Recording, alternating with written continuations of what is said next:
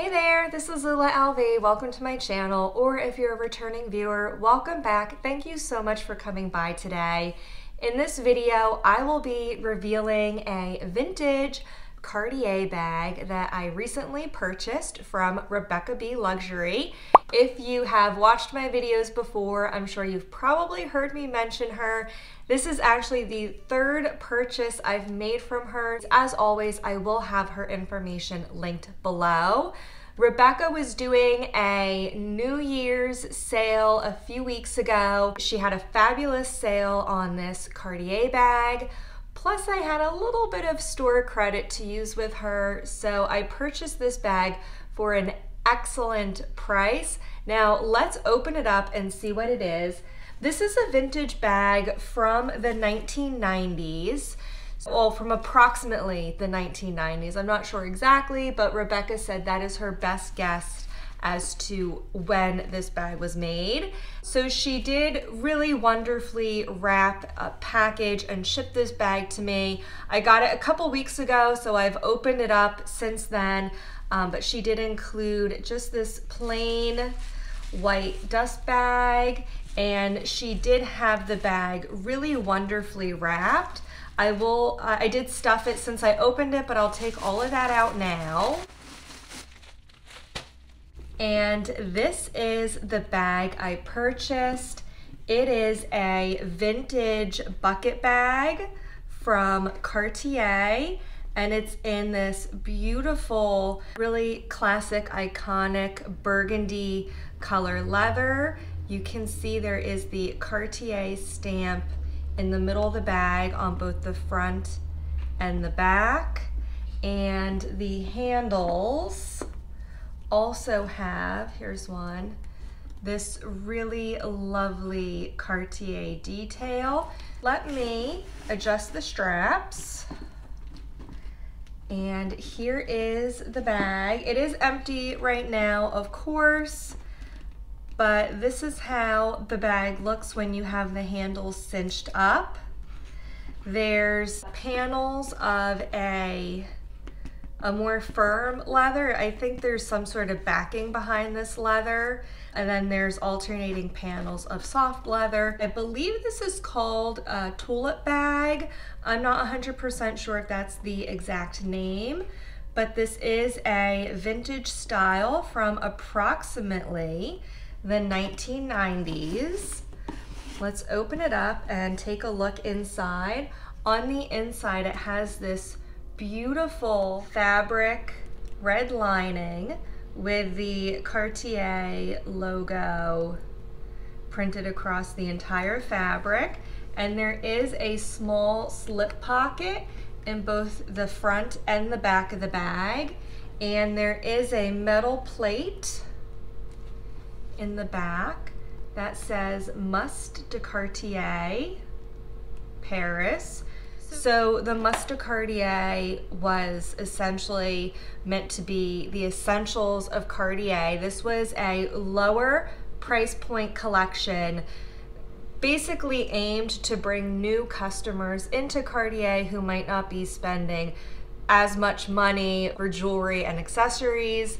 There was, I know, a tank watch that was part of the Must de Cartier collection, and I believe Cartier recently brought back the Must de Cartier collection. If you look on their website today, you will find some bags and other leather goods that are labeled Must de Cartier. So I'll link to that below as well as maybe one or two other sources about this line if you're interested in learning more about it. Here is the bag all filled up and cinched. Let's see what fits. This is a pretty generous size. So all of your essentials will fit. I have a long wallet, sunglasses, the Louis Vuitton mini pochette accessoire, as well as the six key holder.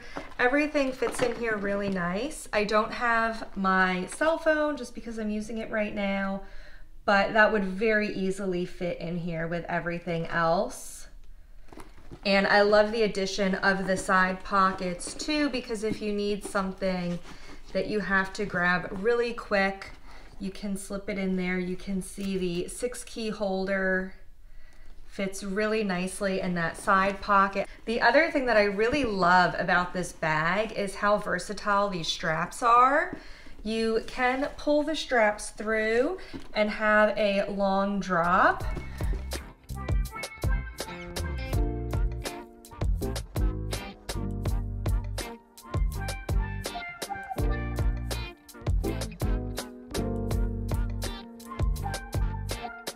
You can also pull the straps on each side and carry it like a little handheld or just in the crook of your arm. I think for being from around the 1990s, this bag is in really great shape. The leather has held up really well. There is a bit of wrinkling just on these panels because they do move quite a bit depending on how you store the bag and how you have it cinched up. I do plan on cleaning and conditioning this leather. There's also just a couple, I don't even think you can really see it on camera. There's a couple very light hairline scratches um, around the bottom of the bag just from being used. So I do plan on using a leather cleaner and conditioner on this, just spiffing it up a little bit and then taking her out to use. I just, I really love the color.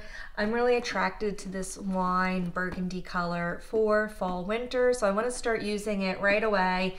It's January now before the weather gets too warm. And I just love the really tiny Cartier details between the color, the really small logos on the side, and the hardware on the bag. So it has all these really great little touches, but it's not uh, really loud like this is, that it's a luxury designer bag. So um, yeah, I think I'll definitely get a lot of use out of this. And as I said before, I got a great deal. Uh, Rebecca had this bag on sale, plus I had store credit to use with her. So all of that combined, this came out to $324. I thought that was a really great deal and a really fair price on this bag. So I'm really happy to add this to my collection. And this is my first Cartier bag, my first Cartier piece at all. I will uh, share some photos styling this bag on my Instagram account. So if you don't follow me on Instagram, head over there. I will link to my Instagram profile below and I will share some photos styling this bag with outfits as I use it over the next few weeks. I hope you enjoyed this video. If you have any questions about this bag, please do leave them in the comment section below. If you enjoyed this video, don't forget to give it a thumbs up and don't forget to come back every Wednesday and Friday for new videos. I hope to see you in the next one. Bye-bye now.